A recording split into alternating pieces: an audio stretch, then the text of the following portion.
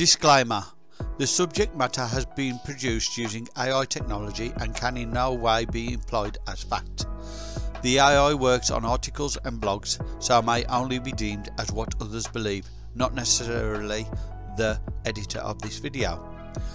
This video is in no way intended as fact or intended to cause undue stress, only for entertainment value. The disclaimer is produced by Tony of Tony's Music. Thank you. Printing is one of the most significant inventions in human history. It revolutionized communication, education, and knowledge sharing. The origins of printing date back to ancient China, where woodblock printing was used for centuries. However, it wasn't until Johannes Gutenberg's invention of movable type that printing became widespread across Europe.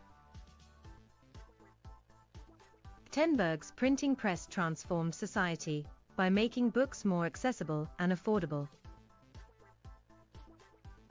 Suddenly, people could read about science, philosophy, religion, and literature without having to pay exorbitant prices or rely on handwritten copies.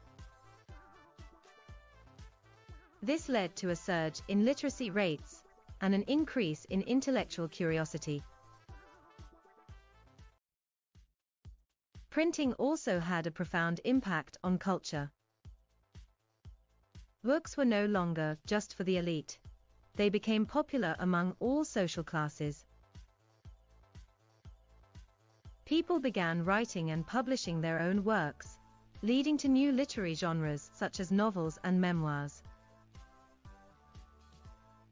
Newspapers and magazines emerged, providing news and entertainment to the masses.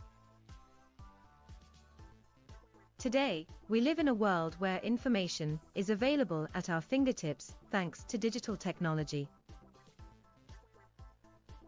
But the roots of this transformation can be traced back to the humble beginnings of printing. From woodblock prints to movable type, printing has come a long way, shaping our past, present, and future.